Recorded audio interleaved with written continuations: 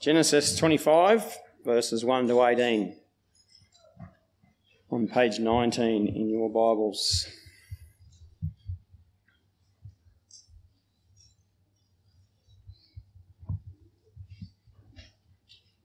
Abraham had taken another wife, whose name was Keturah. And she bore him Zimran, Jokshan, Medan, Midian, Ishbak, and Shua. Jokshan fathered Sheba and Dedan. Dedan's sons were the Asshurim, Letushim, and Leummim. And Midian's sons were Ephah, Epher, Hanoch, Abida, and Eldar. All these were sons of Keturah. Abraham gave everything he owned to Isaac, but Abraham gave gifts to the sons of his concubines. And while he was still alive, he sent them eastward away from his son Isaac to the land of the east. This is the length of Abraham's life 175 years. He took his last breath and died at a good old age, old and contented. And he was gathered to his people. His sons Isaac and Ishmael buried him in the cave of Machpelah near Mamre, in the field of Ephron, son of Zohar the Hethite. This was the field that Abraham bought from the Hethites. Abraham was buried there with his wife Sarah. After Abraham's death, God blessed his son Isaac, who lived near Beer Lahai These are the family records of Abraham's son Ishmael, whom Hagar the Egyptian, Sarah's slave, bore to Abraham. These are the names of Ishmael's sons. Their names, according to the family records, are Nebaioth, Ishmael's firstborn, then Kedar, Adbeel, Mibsam, Mishma, Dumah, Massa, Hadad, Tema, Jetur, Naphish, and Kedemah. These are Ishmael's sons, and these are their names by their settlements and encampments, twelve leaders of their clans. This is the length of Ishmael's life, 137 years. He took his last breath and died and was gathered to his people. And they settled from Havilah to Shur, which is opposite Egypt as you go toward Asshur. He stayed near all his relatives. This is the word of the Lord.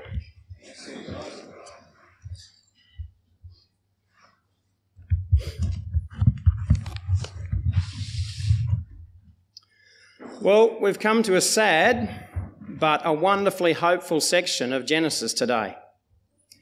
Our passage, as Bernard said, is centred around the death of the father of our faith, Abraham. But it's not marked by the grief and sadness that we normally associate with death and funerals, is it? And in part, that's because our hero dies well. Just as for at least the last 75 years, he has lived well living and dying full of faith and hope and contentment. Bookending his death are genealogies that attest to the faithfulness of our Heavenly Father that is just as real and relevant to us today. So let's pray and then we'll have a closer look. Heavenly Father, thank you that you show us uh, every day that you are faithful. I thank you that in your word is deep, uh, deep treasures of faithfulness that we can look at and we can actually live contentedly as well.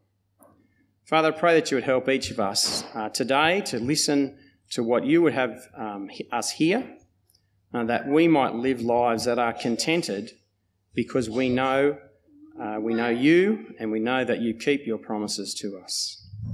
Amen. Well, as I said, we've come to the close of an amazing section in the book of Genesis. Starting back in chapter 11, we were introduced to Abram, who was one man called out by God to leave his father's pagan household and to go to a country that God would show him. He was born about 400 years after the flood, a few hundred years from the Tower of Babel in a time when it was extremely rare to find someone faithful to the Creator God. Even after the flood, the world was still submerged under the darkness of sin and death. But God had promised a saviour from the very beginning, hadn't he? Back in Genesis 3:15. Now the plan was set in motion by God by the calling of Abraham, or Abram at that stage, who was given this promise by God in Genesis chapter 12. I will make you into a great nation. I will bless you. I will make your name great and you will be a blessing. And all the peoples on earth will be blessed through you. Well, throughout our study of Genesis over these last couple of years, we've followed Abram on his journey and saw in failures and in victories how God shaped him to be our ancestor of faith, so that all that God promised would come through him eventually down to us today. This promise will span multiple generations over hundreds of years, testifying to the faithfulness and patience of God towards sinful man. And we've now come to the conclusion of the life of the father of our faith, Abraham. I'm at point one now. First, let us see more of Abraham's family. Now look at verses 1 and 2. Abraham had taken another wife whose name was Keturah, and she bore him sons. Not much is ever mentioned about these children or the circumstances of his third wife. What we are sure about is that Ishmael was his firstborn. Abraham had no other heir prior to that, and Isaac was born next. And he was named by God the true heir of Abraham. So these children must have been born later, but they are mentioned here, even if only briefly, because they show how God kept all of his promises to Abraham. Back in Genesis chapter 17, God told Abraham, Your name will no longer be Abram, your name will be Abraham. For I will make you the father of many nations. I will make you extremely fruitful and will make nations and kings come from you. Well, today, spiritually, Abraham is the father of many, many nations. But physically, this also came to pass for Abraham. You, I hope, will recognise in the list of names Midian, who was the father of the Midianites. They were the ones who bought Joseph from his brothers and sold him into slavery in Egypt. The wife of Moses was also a Midianite. In the book of Job, one of Job's friends is Bildad the Shuhite, a descendant of Shua. And Jokshan fathered Sheba, who I think we can assume to be the founder of the country or the region where the Queen came from to visit Solomon in all his splendour. So you can see that already these sons of Abraham from his wife Keturah were also made into recognised nations. But what was it about Abraham that his sons became princes and kings? Well, nothing really, remember? He was just an ordinary man, called out by God. No, this was all by the gracious, merciful providence of God. Look down at verses uh, 5 and 6 because they show us the legacies that Abraham left for all of his children. Abraham gave everything he owned to Isaac. But Abraham gave gifts to the sons of his concubines, and while he was still alive, he sent them eastward, away from his son Isaac, to the land of the east. It's usually up to the parents to decide how they want to pass down their inheritance. Sometimes God will decide to divide the inheritance between multiple children. But here you see the possession of the promised land, or at least the promise of it, because Abraham didn't own all the land yet. It was reserved solely for Isaac. All that Abraham owned was given to Isaac. Maybe his tents, his personal items, the field that he bought as a burial ground, and his herds and flocks. For the children of his concubines, he gave them gifts, perhaps of money, silver, and gold, but he sent them off to the land of the east, away from Isaac because he wanted to make sure that there was no dispute over the land of Canaan, no challenge to Isaac and his offspring's right to God's promises. He provided for them very well, but he sent them all away out of the land, Only Isaac remained in Canaan. Now, there's two things to note here. The first is that sending to the east is a sign of judgment in the Old Testament. Adam and Eve were sent out of the garden to the east. Israel, both north and south, were sent to the east in the exile. Now, I'm not saying that Abraham was making some kind of um, heavenly judgment on his other sons, but it's worth noting this pattern in God's providence. Secondly, Abraham was still living when he gave these gifts and these instructions. If Abraham had died before he sent them away, any of his sons, but especially Ishmael, could claim what was given to Isaac. But Abraham made his will known he gave the gifts and he had such authority that after his death there was no dispute. But another reason that there might not have been a dispute is because he might have satisfied the children very well with what he had given them. In Genesis 13, verse 2, we read that Abram was very rich in livestock, silver, and gold. And that's quite early in his life's journey. He might have given each of them a large enough amount of wealth to be able to take care of themselves. Also, notice that he gives gifts to the sons of his concubines.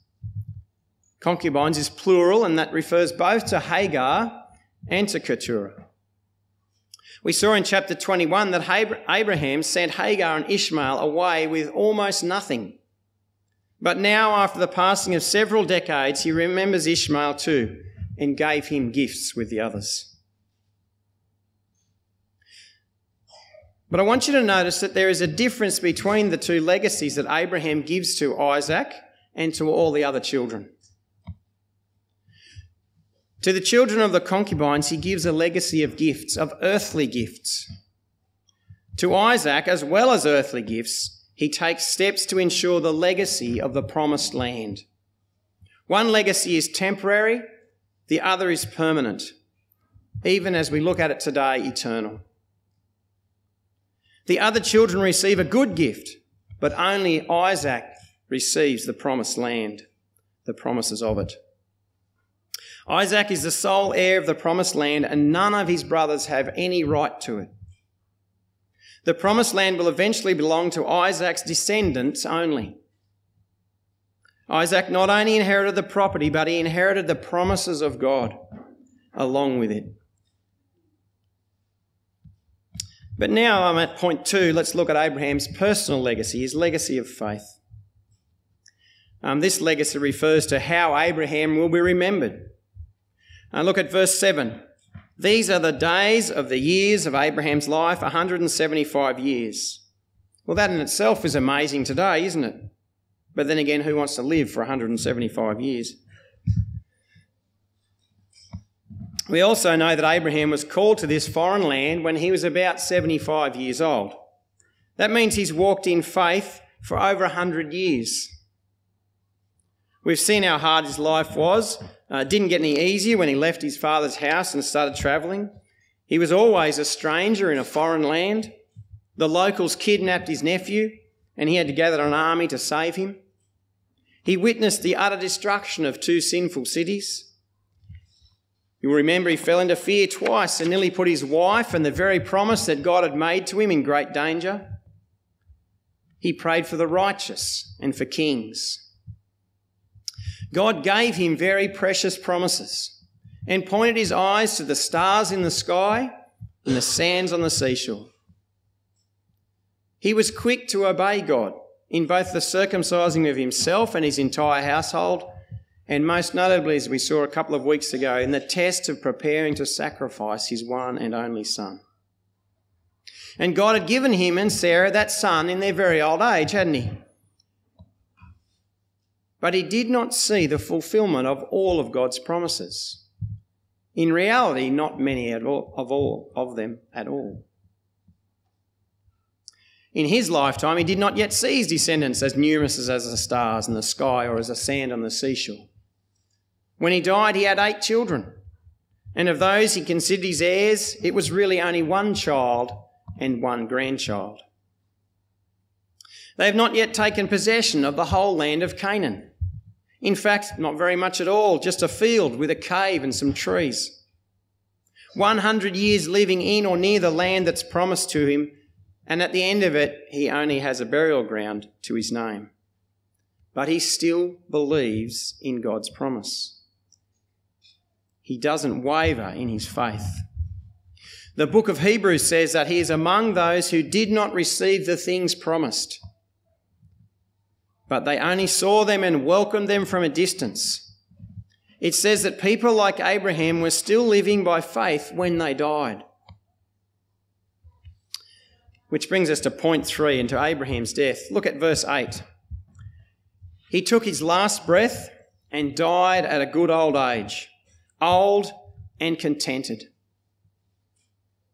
And he was gathered to his people.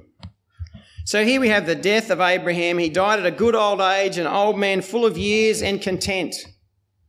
What a blessing. And what a testimony.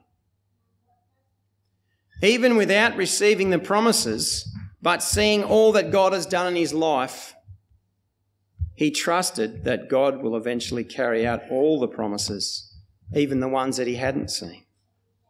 And he was satisfied, he was content with his life.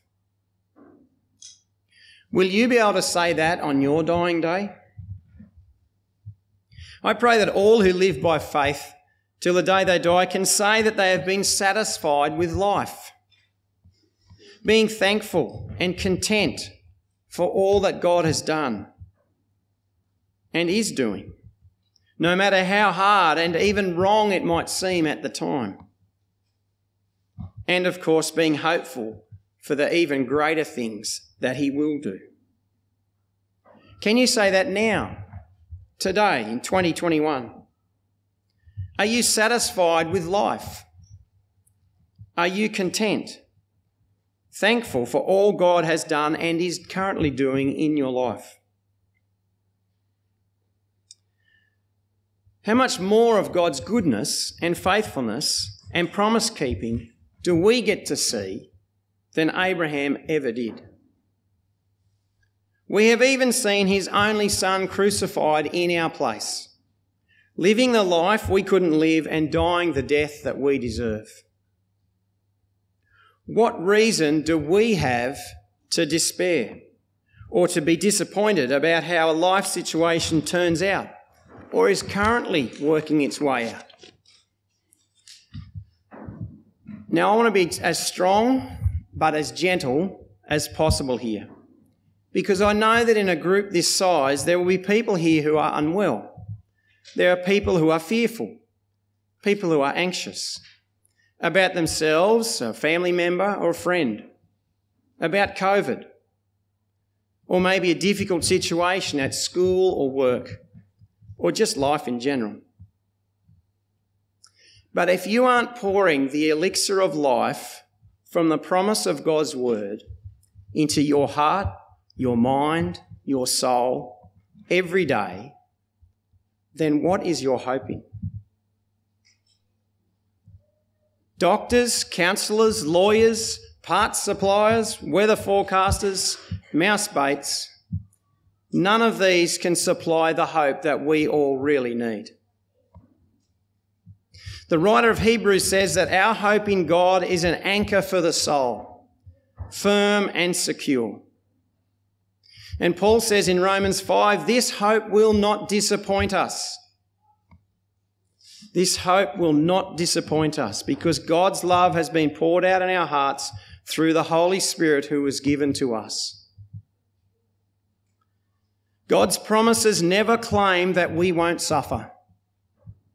God's promises never claim that we won't suffer. But He promises that we will never be evicted from His presence.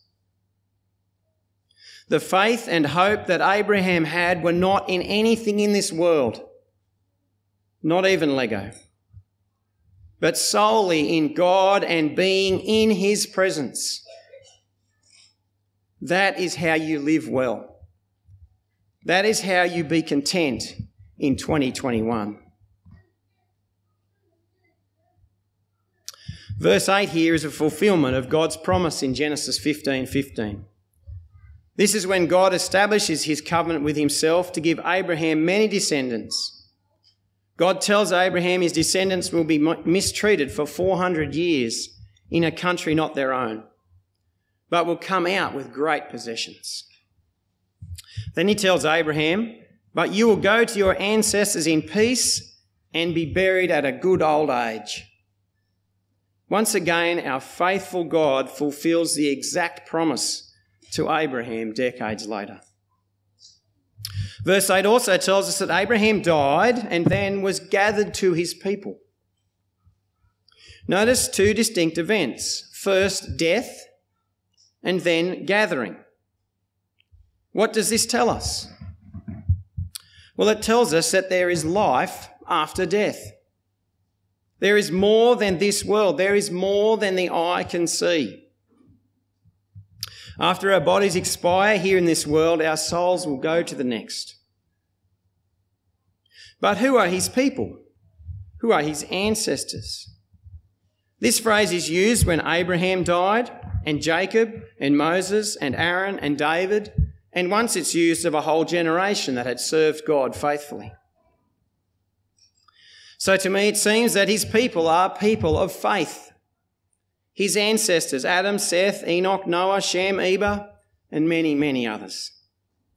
And we have this hope ourselves in Christ that one day too we can be gathered up to the faithful people like Abraham after we die. Abraham was 175 years old. This makes Isaac 75 and Ishmael is around 90. You remember that Ishmael was sent away when Isaac was a young boy. So they had spent about 70 years apart. We don't know how far apart, but they did live separately. But in a warm moment in this passage, here they are together, reconciled, maybe, maybe not. But they're together, honor their, honouring their father by burying him. It's interesting to me, at least, that although Abraham had sent Ishmael away, effectively cutting him off with nothing, he still came back to pay respects to his father. So Isaac and Ishmael together buried Abraham in the cave that he had bought from the Hethites, with his wife Sarah, who died 38 years before he did. Abraham had bought this field in the promised land because he believed God's promise that it would become his descendants' land. Later, Isaac and Jacob were buried here as well. And Joseph ensured his bones would be buried there as well, and they were when the Israelites came out of Egypt some 400 years later. This is what the writer to the Hebrews was getting at in today's reading.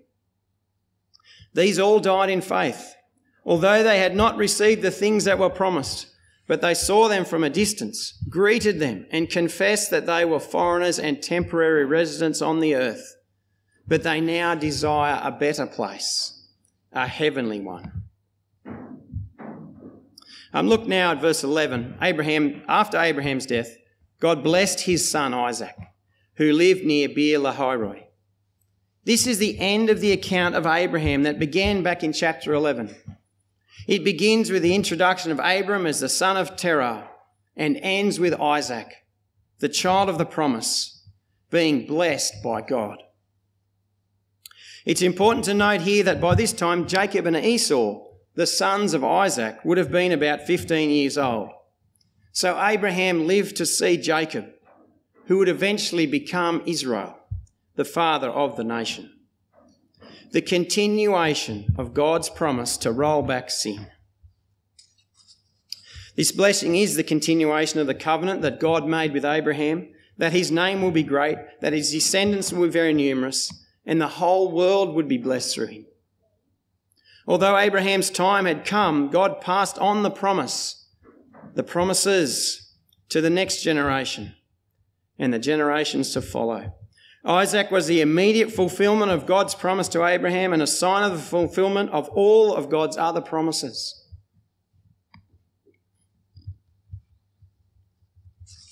I'm at point four now. Before the Genesis story continues um, regarding Isaac and the bloodline of our Saviour. There is a second bookend that further shows God's faithfulness to Abraham. Look at verse 12.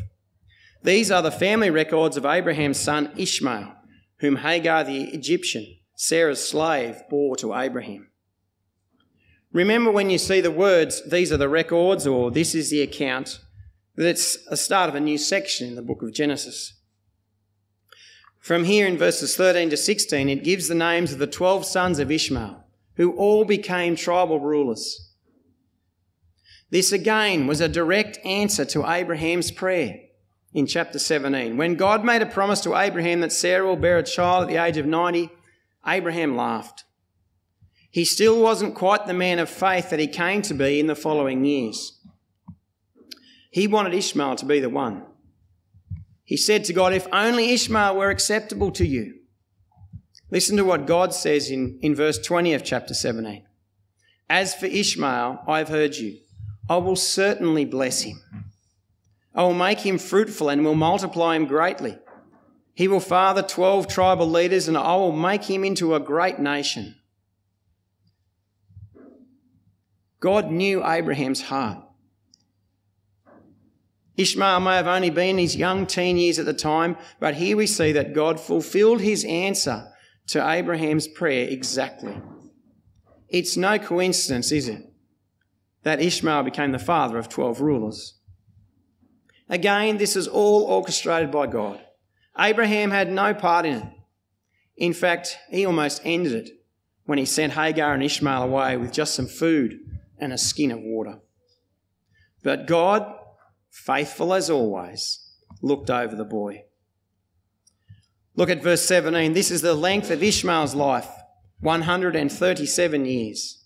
He took his last breath and died and was gathered to his people. Ishmael lived a long life, though I'm not sure how much at peace he was. And when it says he was gathered to his people, I don't think that they are the same people that I talked about before with Abraham. God had prophesied to Hagar about Ishmael that he will be a wild donkey of a man and he will live in hostility toward all his brothers. And this version has verse 18 he stayed near all his relatives. Many versions translate this as hostile to, or in opposition with, or made war against. It doesn't sound like a very happy 137 years. Ishmael and his descendants lived primarily south of the land of Canaan from east of Egypt, that's Saudi Arabia, all the way to the Euphrates River in Babylon or southern Iraq today. And they travelled living in that area. God did fulfill his promise to Abraham. Ishmael was blessed and very fruitful, and he became a great nation for the sake of Abraham and the promise that God made to him. Most important of all, God kept his promise to Abraham in that he became the ancestor of the one who would roll back the curse of sin and death, the Saviour of the world. God's one and only Son, Jesus Christ, who came through the line of Abraham, Isaac, and Jacob. Through Christ, Abraham's offspring, the whole world is blessed with salvation from sin and death. Well, what is Abraham's legacy to us today? Well, obviously, it's not wealth, possessions, or land, but it is a legacy of faith and hope, and if we trust in God, contentment. In the book of Hebrews, in chapter 11, that great hall of faith passage, Abraham is given two large sections. He believed in all the promises of God. His legacy to Isaac was the inheritance of the promised land. Spiritually, this teaches us that the children of the promise will inherit eternal life. Galatians 3 7 says, You know then that those who have faith, these are Abraham's sons. You are a child of this promise. You are a child of this promise if you have faith in Jesus as your Saviour. But as great a man as Abraham was, and as great as the legacy he has given to all the nations is, it would be very wrong of me to leave you thinking that it was all about him. What this passage tells us and what we have seen each week as we have looked at the life of Abraham is, is that it's all about God. God is the truly faithful one. He has taken Abram from obscurity and paganism, made him unbelievably wealthy in earthly terms, And every single promise he made to Abraham, he has kept, or has sown the seed in Abraham's lifetime for the fulfillment that we can see as we look back today. God is faithful. God is worthy of your trust. What he says, he will do, and he does not change. That is the real message from Abraham's life. The message that I want you to cling to as you navigate the ups and downs that life throws at you. As you confess that you are foreigners and temporary residents on the earth, desiring a better place, a heavenly one. Let's pray. Father, thank you for giving us promises. Thank you for thousands of years of proving that you are a promise keeping God. Father, help us to take tight hold of your promises, uh, whether things are going well or things are going poorly.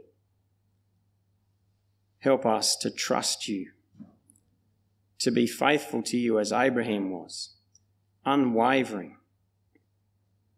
We pray this for your glory and for Jesus' sake. Amen.